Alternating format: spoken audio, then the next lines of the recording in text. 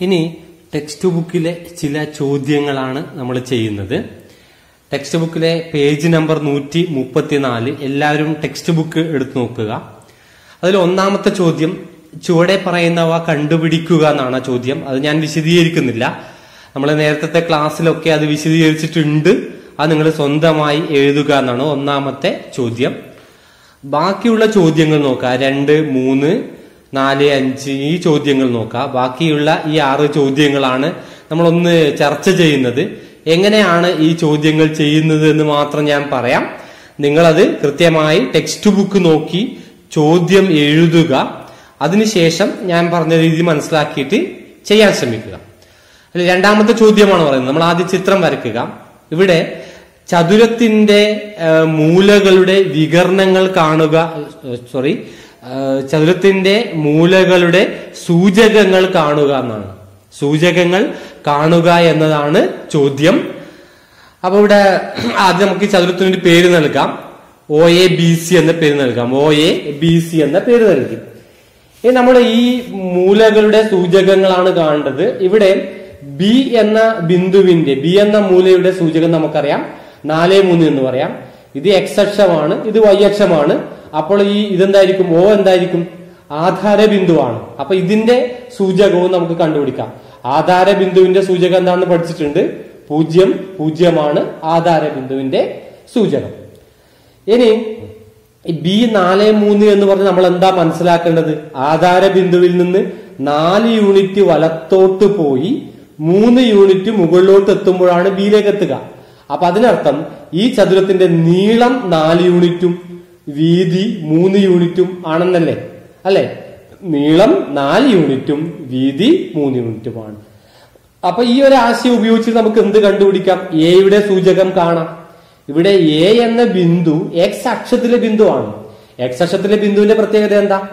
X അക്ഷത്തിലെ ഏതൊരു ബിന്ദുവിന്റെയും Y സൂചകം പൂജ്യമായിരിക്കും. അപ്പൊ ഇതിന്റെ വൈ സൂചകം പൂജ്യമാണ്.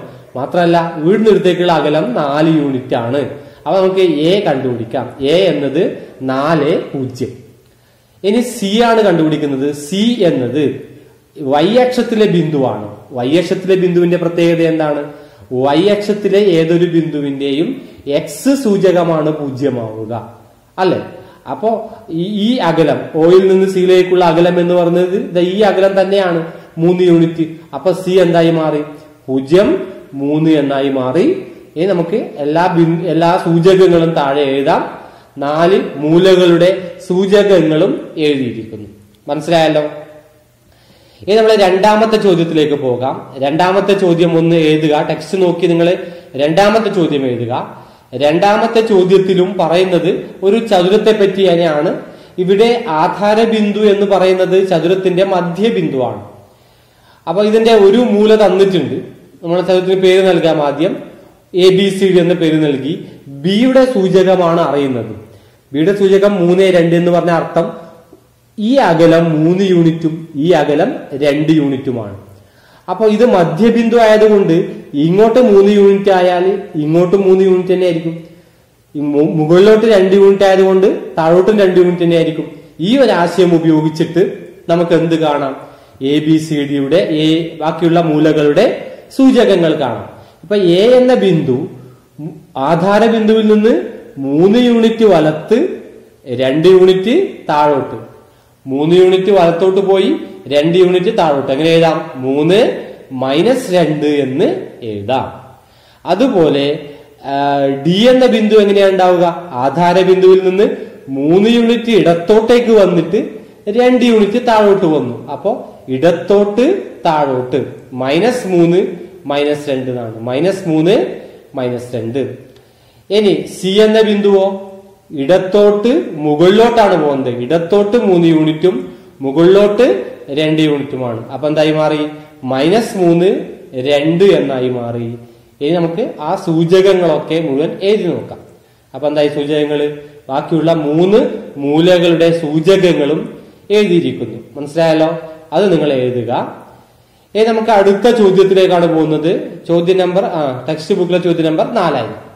ചിത്രം ഇതാണ്. ഒരു സമഭുജ ത്രികോണം വരച്ചിട്ടുണ്ട്. സമഭുജ ത്രികോണത്തിന്റെ ശീർഷങ്ങൾ അടയാളപ്പെടുത്തുക. ഇതിന്റെ ഒരു വശം നാല് എന്ന് അറിയാം. നാല്. ഇനി ഒരു ശീർഷം ആധാര ബിന്ദുവാണ് അപ്പോൾ അത് നമുക്ക് പെട്ടെന്ന് എഴുതാൻ പറ്റും. ആധാര ബിന്ദുവിന്റെ ആധാര ബിന്ദുവിന്റെ ശീർഷകങ്ങൾ അല്ലെ? ഇനി നാലാണ് ഇവിടെ എഴുതുന്നത്. ഈ എ എന്ന ഈ അകലം എന്താണ്? ഈ ആധാര ബിന്ദുവിൽ നിന്ന് എ എന്ന ബിന്ദുവിലേക്കുള്ള അകലം നാല് യൂണിറ്റ് ആണ് മാത്രമല്ല അത് എക്സക്ഷത്തിലെ ബിന്ദുവും കൂടിയാണ്. അപ്പോൾ നാല് പൂജ്യം എന്ന് ആയി. ഇനി ബി ആണ് കണ്ടുപിടിക്കേണ്ടത്. ബി കണ്ടുപിടിക്കാൻ വേണ്ടി ആദ്യം ബിയിൽ നിന്നും എക്സ് അക്ഷത്തിലേക്ക് ലംബം വരക്കുന്നു അപ്പോൾ ഇവിടെ മട്ട ത്രികോണം കിട്ടി. ഈ മട്ടത്രികോണത്തിന്റെ ഒ ബി എന്നത് എന്തായിരിക്കും? ഒ ബി എന്നത് നാല് യൂണിറ്റ് തന്നെയാണ് സമഭുജ ത്രികോണം ഇതെന്തായിരിക്കും? രണ്ടായിരിക്കും. അപ്പൊ വേണമെങ്കിൽ പൈതഗോറസ് സിദ്ധാന്തം ഉപയോഗിച്ചിട്ട് നിങ്ങൾക്ക് എന്ത് കാണാം? ഈ വശം കാണാം. ഈ വശം കാണാം. അതല്ലെങ്കിൽ നമ്മൾ കഴിഞ്ഞ പിന്നെ അധ്യായത്തിൽ പഠിച്ച ത്രികോണമിതി ഉപയോഗിക്കാം. ഇത് അറുപത് ഡിഗ്രിയാണ്. അപ്പൊ ഇവിടെ എന്തായിരിക്കും? മുപ്പത് ഡിഗ്രി ആയിരിക്കും. ഇത് തൊണ്ണൂറ് ഡിഗ്രി ആയിരിക്കും. അപ്പോ മുപ്പത് ഡിഗ്രി അറുപത് ഡിഗ്രി തൊണ്ണൂറ് ഡിഗ്രി ത്രികോണത്തിന്റെ പ്രത്യേകത നമുക്ക് എഴുതാം. എന്താണ്? മുപ്പത് അറുപത് തൊണ്ണൂറ് ആയാൽ കോണുകൾ ഇത്രയായാൽ വശങ്ങൾ എന്തായിരിക്കും? അപ്പൊ ഇവിടെ തൊണ്ണൂറ് ഡിഗ്രിക്ക് എതിരായ വശമാണ് നാല്. അപ്പോ മുപ്പത് ഡിഗ്രിക്ക് എതിരായ വശം രണ്ട് അറുപത് ഡിഗ്രിക്ക് എതിരായ വശം രണ്ട് റൂട്ട് മൂന്ന് എന്ന് കിട്ടും. അത് ഉപയോഗിച്ച് നമുക്ക് ബിയുടെ സൂചക സംഖ്യ കാണാം. ഇവിടുന്ന് ഇവിടുത്തേക്കാണ് എക്സ് അകലം എന്ന് പറഞ്ഞത് അത് രണ്ടാണ്. വൈ അകലം എന്ന് പറഞ്ഞതായിരിക്കും അപ്പോ? രണ്ട് റൂട്ട് മൂന്ന്. അപ്പൊ ബിയുടെ സൂചകം രണ്ട് രണ്ട് റൂട്ട് മൂന്ന് എന്നാണ് ലഭിച്ചത്. അപ്പൊ എയും ബിയും ലഭിച്ചു. മനസ്സിലായല്ലോ? അപ്പൊ എ നാല് പൂജ്യം ബി രണ്ട് രണ്ട് റൂട്ട് മൂന്ന്. ഇനി നമ്മൾ അടുത്ത ഒരു ചോദ്യം അടുത്ത ചോദ്യമാണ് ടെക്സ്റ്റ് ബുക്കിലെ അടുത്ത ചോദ്യമാണ് ഇനി ചർച്ച ചെയ്യുന്നത്. അടുത്ത ചോദ്യത്തിലേക്ക് പോവാം. ചോദ്യം എഴുതുക. ടെക്സ്റ്റ് ബുക്കിലെ ചോദ്യം എഴുതുക. ചിത്രം ഇതാണ്. ഒരു ലംബകമാണ്. നാല് ചെറിയ ലംബകങ്ങൾ ചേർത്ത് ഒരു വലിയ ലംബകം വരച്ചിട്ടുണ്ട്.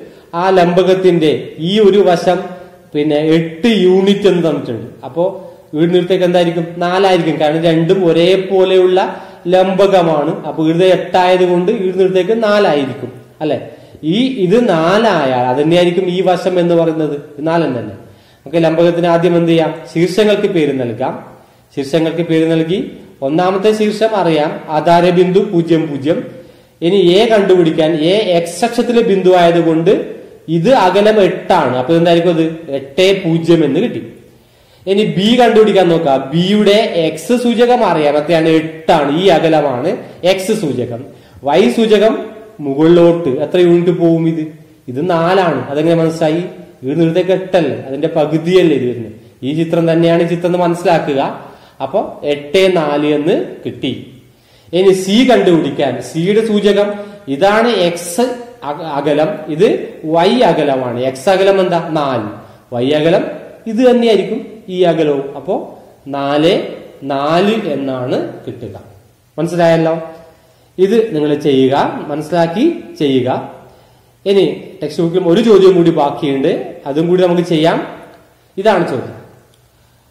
ചിത്രത്തിൽ എ ബി എന്നീ ബിന്ദുക്കളുടെ സൂചകങ്ങളാണ് കാണേണ്ടത്. ഇവിടെ വൃത്തം വരച്ചിട്ടുണ്ട്. അത് നമുക്ക് എയിൽ നിന്ന് എക്സ് അക്ഷത്തിലേക്ക് ഒരു ലംബം വരച്ചു നോക്കാം. അതായത് ഇവിടെ എയുടെ സൂചകം എന്ന് പറയുന്നത് ഈ അകലവും തിരച്ചീന അകലവും ലംബാകലവുമാണ്. അതുകൊണ്ടാണ് ലംബം വരക്കുന്നത്. അപ്പോൾ നമുക്ക് എന്ത് ലഭിച്ചു? ഒരു മട്ടത്രികോണം കിട്ടി. ആ മട്ടത്രികോണം എന്താ? മുപ്പത് ഡിഗ്രി അറുപത് ഡിഗ്രി തൊണ്ണൂറ് ഡിഗ്രി മട്ടത്രികോണമാണ്. ആ തൊണ്ണൂറ് ഡിഗ്രി വശത്തിനെതിരെ തൊണ്ണൂറ് ഡിഗ്രി കോണിനെതിരാണ് രണ്ട്. അപ്പൊ മുപ്പത് ഡിഗ്രിക്ക് ഇതിന് എന്തായിരിക്കും ഒന്നായിരിക്കും. അറുപത് ഡിഗ്രിക്ക് എതിരെ എന്തായിരിക്കും? റൂട്ട് മൂന്നായിരിക്കും. നമുക്ക് ഈ മട്ടത്രികോണത്തിന്റെ വശങ്ങൾ അടയാളപ്പെടുത്താൻ കഴിയും. അങ്ങനെയാണെങ്കിൽ എയുടെ സൂചകം നിങ്ങൾക്ക് കിട്ടിക്കഴിഞ്ഞു. എന്താ?